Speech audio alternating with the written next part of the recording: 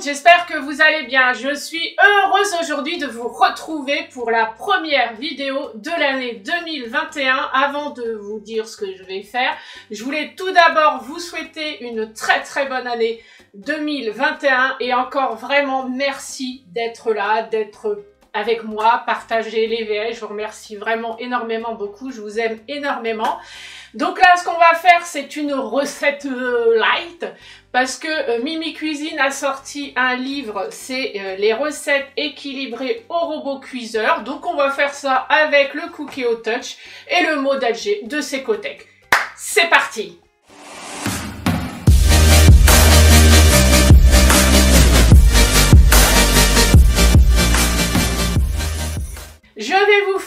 un curry euh, de crevettes. C'est une recette que j'ai déjà faite avec mon ancien euh, Cookéo que j'ai trouvé excellent. Donc je me suis dit, bah, il faut qu'on mange un petit peu diététique quand même parce que les bikinis, les machins, ça va arriver très vite. Hein.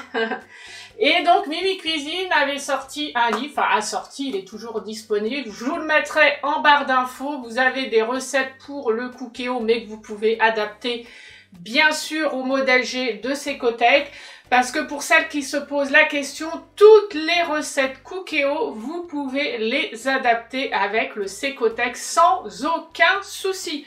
Même au niveau de la température, tout ça, c'est hyper pépère. Donc je vous mettrai en barre d'infos euh, le lien euh, du livre. Donc là, ce qu'on va faire, c'est un euh, curry de crevettes. C'est voilà, c'est une petite recette que j'avais envie de faire. Je l'ai trouvée très très bonne.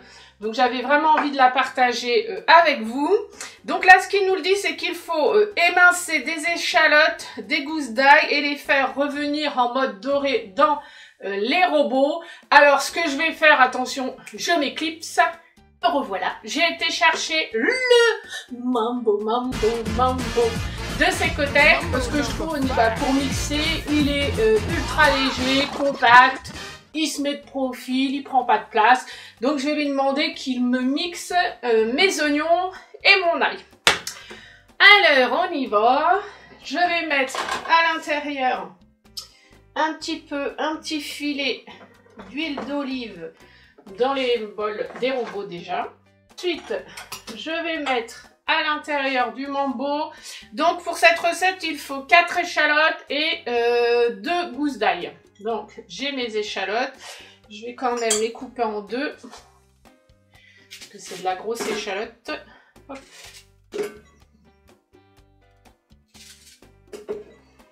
Mes gousses d'ail. Je mets tout à l'intérieur.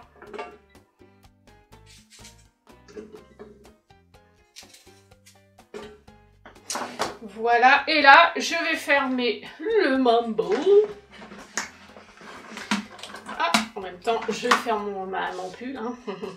Et je vais mixer. On y va.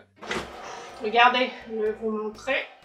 Voilà, donc je mets ça dans le cookéo. Voilà, je fais pareil pour le Secotec. Euh, oui, pour le, oui, bah oui, pour le Secotec. Oh là là, ça y est. Ça y est, ça y est, ça y est, ça y est, ça y est, ça y est, je vais pleurer. Oh là là là là. J'enlève mon robot et je reviens vous voir. Alors, je vais les mettre en mode euh, rissolé donc pendant 5 minutes. Faire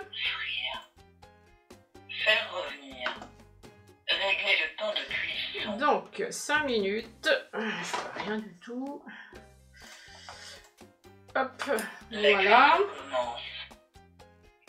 Mode manuel, donc rissolage, on va mettre rissolage euh, bas fort. Ok, start. Voilà, je vous retrouve au bout des 5 minutes. À tout de suite. Le temps est écoulé. Alors maintenant, ce qu'il faut faire, c'est mettre euh, des tomates. Donc il faut 3 tomates que vous coupez euh, en dés. Alors, on y va.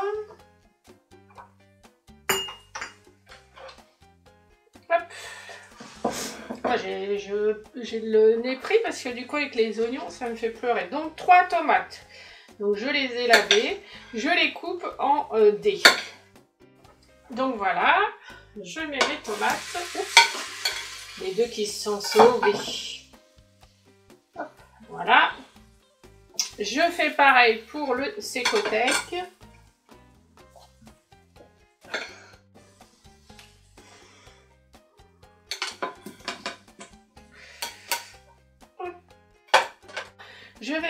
200 g de riz. C'est parti. Oh, j'ai volé une fois ma balance. Ça va pas le faire. Oh là là. Mais là. C'est bon, 100 grammes, donc 200 grammes. Voilà. Je mets à l'intérieur. Je fais pareil pour le potéo. Voilà. Ça, c'est bon. Ensuite, ce qu'il faut, euh, c'est ajouter euh, du gingembre. Donc, en gingembre, il faut une cuillère à café de gingembre. Il est où? Il est là. Je vais mettre à peu près l'équivalent d'une cuillère à café. Voilà. Ensuite, il faut du piment. Bon, moi, j'ai pas de piment. Il faut euh, du curcuma. Alors.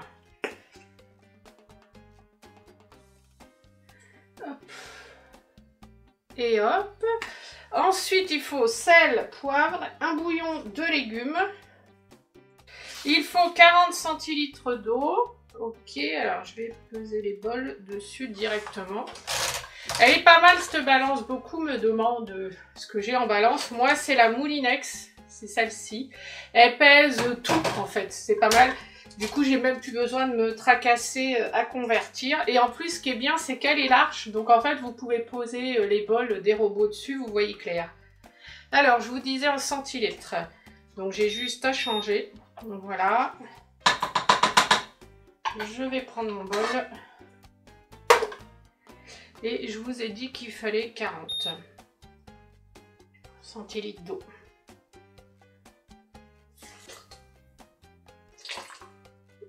Voilà. Ça c'est bon. Je vais relever. Ça sent bon. Hein. je remets à l'intérieur. Je fais pareil pour le kilo.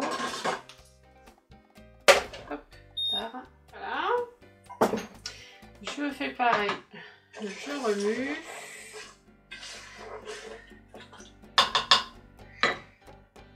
Voilà.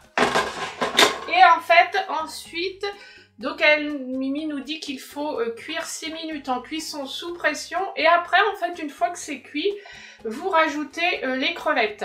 Euh, moi, ce que je vais faire, c'est que je rajouterai les crevettes, en fait, à l'intérieur quand et je ferai un peu mijoter parce que j'aime bien quand les crevettes sont chaudes parce que mélanger le froid chaud. Donc moi, ce que je fais, c'est que quand je l'ai, j'ai préparé cette recette, donc j'ai fait là là ce que je suis en train de faire. Et ensuite, j'ai mis mes crevettes à l'intérieur du, du robot et j'ai laissé à peu près une minute le temps que ça réchauffe mes crevettes. Donc je les lance en cuisson sous pression pendant 6 minutes et puis je vous retrouve au bout des 6 minutes. A tout de suite. Je vous retrouve pour le résultat final, la dégustation, celui que je préfère. Euh, alors moi ce que j'ai fait, une fois que mon riz euh, mes tomates, tout ça avait cuit. J'ai rajouté juste un petit peu euh, mes crevettes et j'ai remué comme ça euh, pour qu'elles réchauffent juste un petit peu. Et du coup, bah, j'ai tout mis dans une assiette. Au niveau de l'aspect de la cuisson, les deux, bah top. le riz bien cuit, pas trop pour un, pas trop pour l'autre. Je vais goûter en bouche. Hein.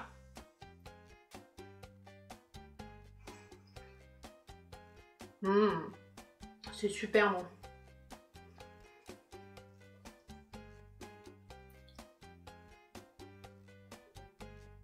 Mmh.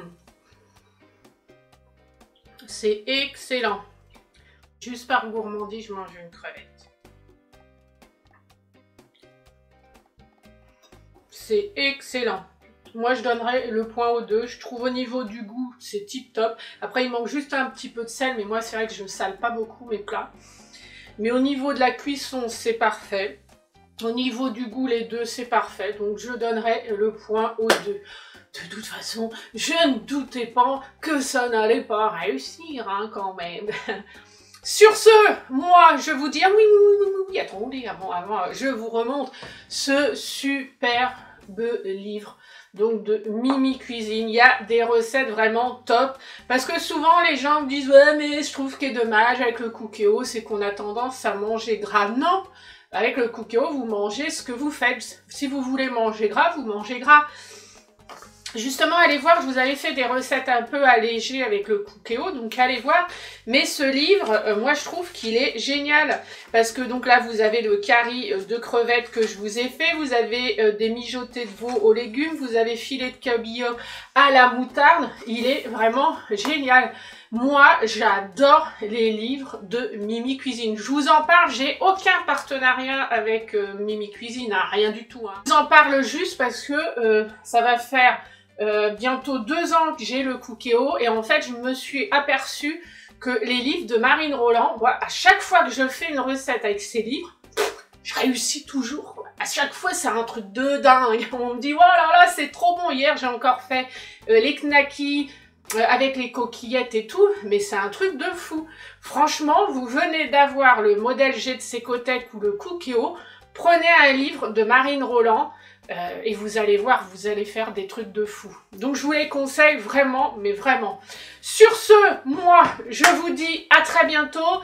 N'hésitez pas à cliquer sur le pouce bleu, à vous abonner à la chaîne si ce n'est pas déjà fait. Et retrouvez-moi aussi sur Instagram et Facebook où je vous partage des petites vidéos, des petites choses comme ça de ma life en avant-première. Donc n'hésitez pas à me rejoindre sur ces réseaux sociaux. Et dites-vous une chose, si moi, Bibi, j'arrive à faire des petites recettes comme ça, bien sympatoches, limite bientôt on va avoir l'impression que c'est un chef, Bibi, vous y arriverez aussi. Je vous embrasse et je vous dis à très bientôt pour une prochaine vidéo.